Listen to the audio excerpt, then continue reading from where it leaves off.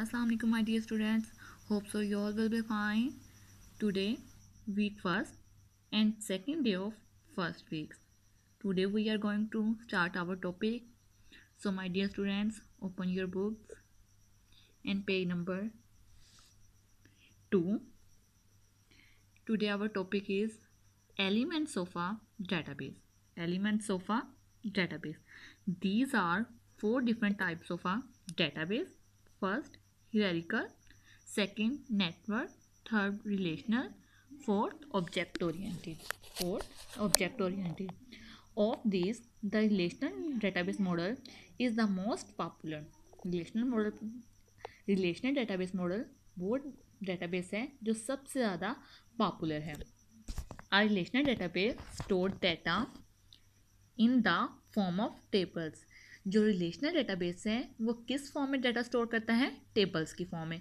In the form of tables relational database store the data in the form of tables a table organise data into rows called records a table organise data into rows called records जो table होता है, वो किस form में data organize करता है? Rows और columns की फॉर्म में। और रोज का अदर नेम क्या है? Records. Underline the word rows called records. Rows का अदर नेम क्या है? Records. And columns called fields. Columns का अदर नेम क्या है? फील्ड्स। जो डेट टेबल है, वो अपना डेटा किस फॉर्म में स्टोर करता है? रोज एंड कॉलम्स की फॉर्म में। रोज का अदर नेम क्या है? रिकॉर्ड्स एंड कॉलम्स का अदर नेम क्या है? Fields. Records and fields together make a table. Records and fields together make a table. Records and fields मिलकर क्या बनाती हैं? एक टेबल बनाती हैं। Records means rows and fields mean column ये दोनों मिलकर क्या बनाते हैं? Table. Each record define information about one entity entity underline word and give complete details about it हर रिकॉर्ड एक एंटिटी रखता है और एंटिटी हर रिकॉर्ड के बारे में इंफॉर्मेशन देती है। हर रिकॉर्ड की एक अपनी एंटिटी होती है। Each field define information of a certain type for all records her field uh, एक इंफॉर्मेशन देती है जो कि हर टाइप का रिकॉर्ड के पास होती है।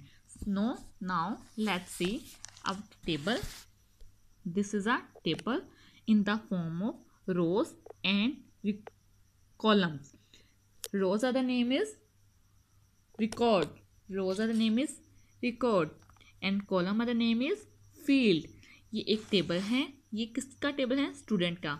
हमने यहाँ पे एक वर्ड देखा। एंटिटी क्या देखा हमने यहाँ पे एक वर्ड एंटिटी अब देखते हैं कि एंटिटी होती क्या है? एंटिटी क्या है? Anything that is participating in the system is known as entity और ऑब्जेक्ट ऐसी कोई भी चीज़ जो आपके डेटाबेस सिस्टम में पार्टिसिपेट कर रही है, वो क्या कहलाती है? एंटिटी क्या कहलाती है? एंटिटी और उसका अदर नेम क्या है? ऑब्जेक्ट अदर नेम क्या है? ऑब्जेक्ट हम एंटिटी को ऑब्जेक्ट भी कह सकते हैं. Anything that is participating in this system that's called entity in other words entity क्या है? एंटिटी ऐसी चीज़ जो कुछ एट्रीब्यूट्स रखती है, वो क्या कहलाती है? एंटिटी फॉर एग्ज़ाम्पल स्टूडेंट एक एंटिटी है. टीचर एक एंटिटी है. स्कूल एक एंटिटी है बिकॉज़ ये सब कुछ ना कुछ एट्रीब्यूट्स रखते हैं। स्टूडेंट के कुछ ना कुछ एट्रीब्यूट्स हैं स्टूडेंट का कोई नेम हो सकता है, उसकी कोई क्लास हो सकती है, उसका रोल नंबर हो सकता है, इसी तरह टीचर है टीचर का कोई नेम हो सकता है टीचर का डिपार्टमेंट हो सकता है ईटीसी इस तरह कोई भी इंफॉर्मेशन जो कुछ ना कुछ एट्रीब्यूट्स रखती है, वो क्या कहलाती है? Entity now rows are the name called records rows are the name called record columns are the name called field और ये एक टेबल है, ये किसका टेबल है? स्टूडेंट के डेटे का टेबल है. फॉर एग्जांपल हमारे पास एक एंटिटी है जरिश जरिश के कुछ एट्रीब्यूट्स हैं. इस for second name is Gufran third name is Abdullah ये सारे क्या हैं? हमारे पास कुछ एंटिटीज़ हैं। और ये टेबल किसका है? स्टूडेंट का। एक स्कूल के कुछ स्टूडेंट्स का। ये हमने कुछ डेटाबेस बनाई।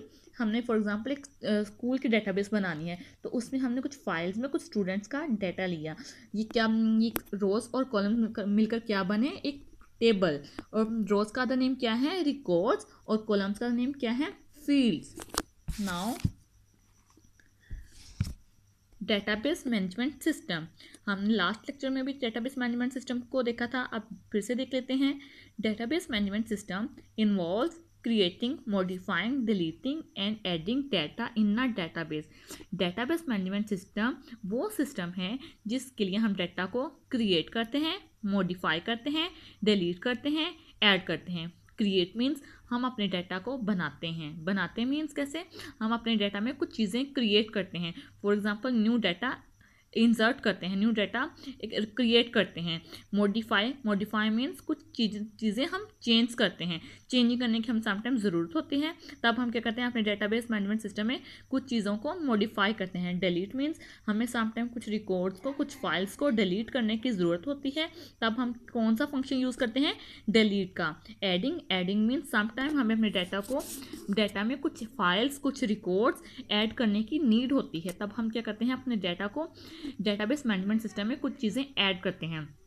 The software that perform this function is called a database management system ऐसा सॉफ्टवेयर जो ये सारे फ़ंक्शंस परफॉर्म करता है, वो क्या कहलाता है? Database management system and database management system also called D B M S also called D B M S Access, MySQL and Oracle are some popular DBMS software ये कुछ ऐसे सॉफ्टवेयर हैं जो हम किस लिए यूज़ करते हैं? डेटाबेस मैनेजमेंट सिस्टम के लिए।